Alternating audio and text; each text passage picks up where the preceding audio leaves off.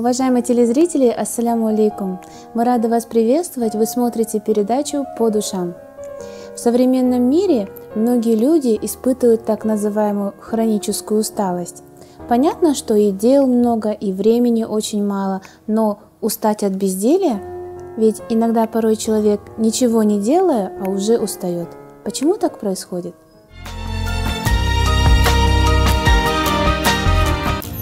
Иммунологи и медики со всего мира ищут причины хронической усталости. Тем временем психологи не сидят спокойно и предлагают свою версию, почему так происходит. И по их мнению, каждый человек по-своему реагирует на стресс в его жизни, особенно в мир технологий и большого потока информации. Синдром хронической усталости – это постоянное чувство утомления или даже переутомления – Упадок сил, не проходящий даже после длительного отдыха. Это состояние особенно характерно для жителей развитых стран и населенных мегаполисов. Главной причиной возникновения синдрома считаются длительные психоэмоциональные нагрузки на нервную систему человека. Самой основной причиной хронической усталости является прежде всего умственное перенапряжение – когда человеку в короткий срок нужно обработать и переработать большой объем информации. При этом, соответственно, он несет ответственность за нее, соответственно, он ограничен как-то во времени. В такие моменты он испытывает колоссальный стресс, из-за чего его мозг чувствует, как будто бы не успевает. В наше время стресс стал обычным явлением. Если мы не можем разрешить проблему или делаем это не так, как хотелось бы, возникает отчаяние. Отрицательные эмоции, в свою очередь, или нереализованные качества делают человека более восприимчивым к болезням. И одной из такой проблем, о которой задумывается человек в такие моменты, это, кажется, недовольство собой и своей жизнью.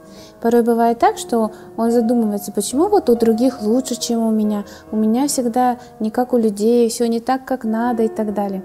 Это его побуждает постоянно э, чувствовать какую-то нехватку и чувствовать какое-то недовольство, из-за чего он постоянно чувствует усталость. Иногда бывает, что человек вроде и не устал на работе, находится дома, можно так сказать, что он и выспался в принципе, и не голоден, и ничего такого прям не происходит, чтобы он устал, но он почему-то чувствует такой упадок сил и хочется просто смотреть в одну точку и ничего не делать.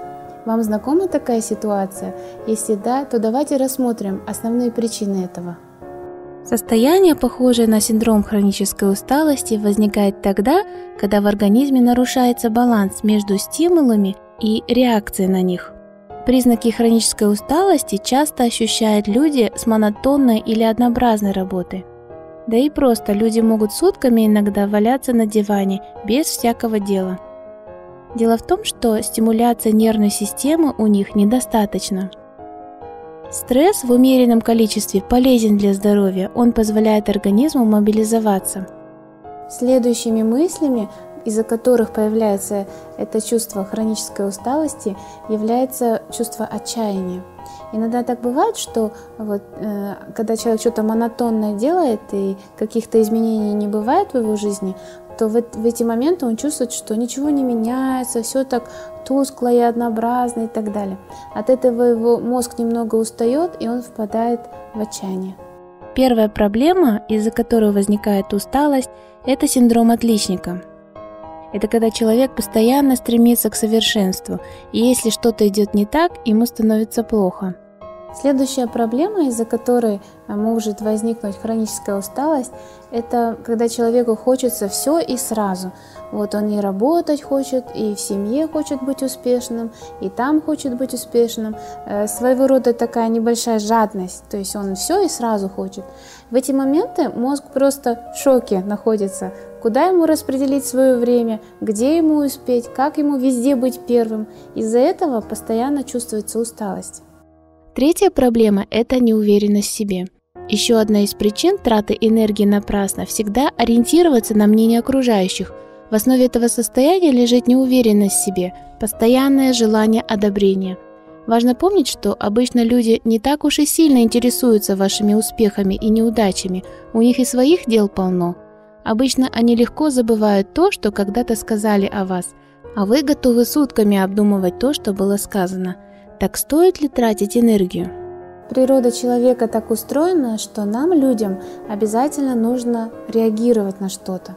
Например, что-то происходит в нашей жизни, например, ну, элементарно даже, вот машина проехала, или кто-то что-то сказал, может быть про нас, может быть не про нас, неважно.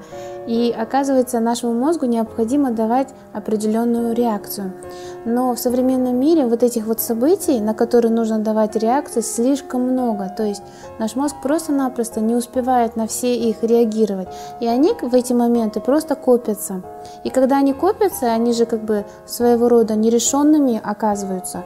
И тогда э, мозг и вообще весь организм человека чувствует усталость от того, что слишком много чего нужно переработать. Пятая проблема – желание всюду обезопасить себя.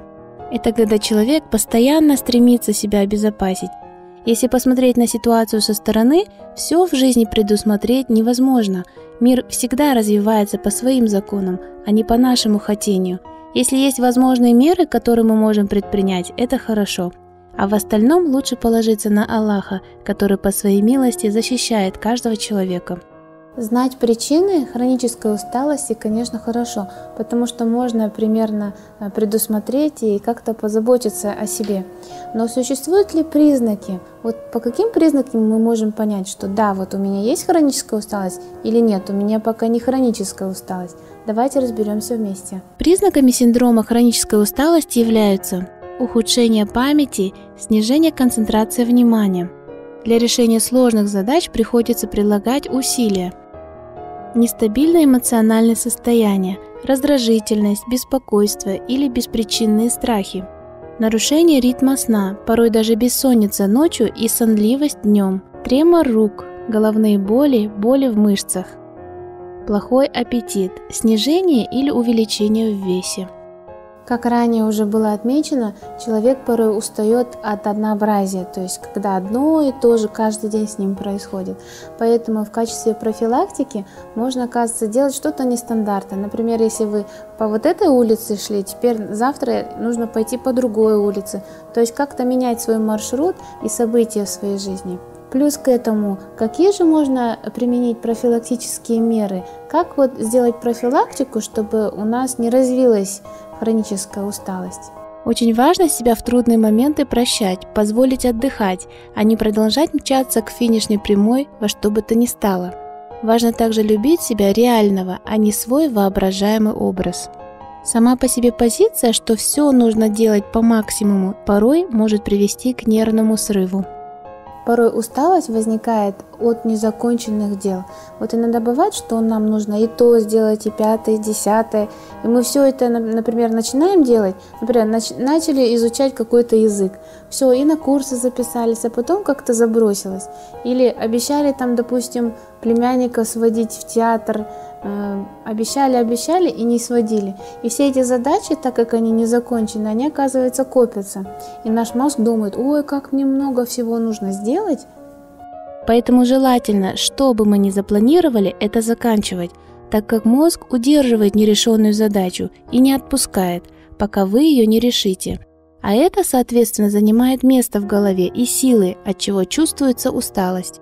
Для этого нужно сначала вспомнить все свои запланированные дела и выписать их, а по возможности выполнить по списку – но что же делать, если выполнить эту задачу уже невозможно? Например, человек уехал в другой город или уже этот вопрос не актуален.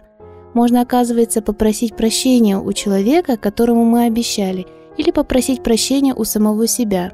Что вот, мол, хотел выполнить, но по таким-то причинам не получилось.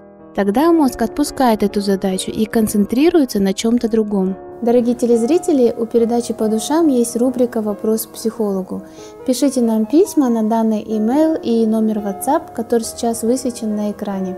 Некоторые из ваших вопросов мы разберем в нашей передаче. Уставшего может понять только уставший. Вопрос получается в другом. Приятная ли это усталость или результат каких-то нерешенных дел – а может ли быть так, что мы устаем именно потому, что невнимательны к себе и к своему самочувствию? А вы как считаете? С вами была передача «По душам». До новых встреч. Ассаляму алейкум.